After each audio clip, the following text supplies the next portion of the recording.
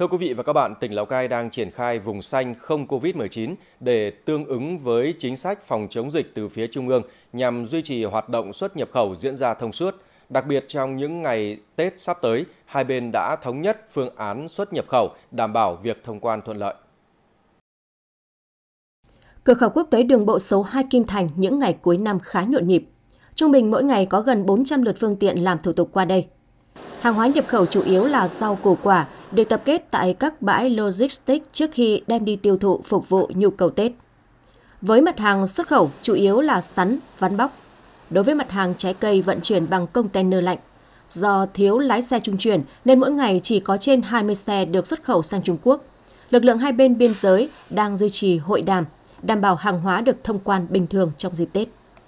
Trước, trong và sau Tết ấy, thì chúng tôi trao đổi với phía ban quản lý cửa Hà Khẩu là cửa khẩu Lào Cai Hà Khẩu vẫn duy trì bình thường.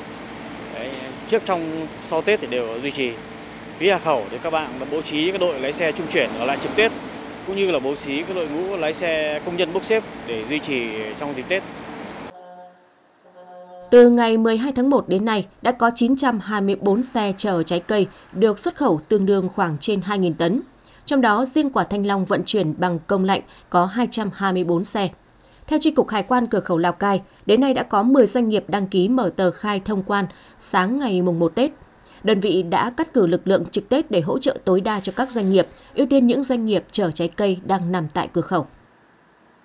Tăng cường các lực lượng biên chế quân số đảm bảo cho việc coi như thông quan hàng hóa đảm bảo thông suốt, tạo điều kiện mọi thuận lợi để cho các doanh nghiệp, đặc biệt là các doanh nghiệp xuất nhập khẩu cái hàng hóa là nông sản hoa quả từ miền Nam ra để xuất được đi Trung Quốc được nhanh chóng và tạo điều kiện thuận lợi nhất, nhanh nhất để đảm bảo thông quan hàng hóa hàng ngày. Hiện nay vẫn còn gần 400 container trái cây đang bị mắc kẹt phía bên ngoài cửa khẩu. Với năng lực thông quan như hiện nay thì phải ít nhất 15 ngày nữa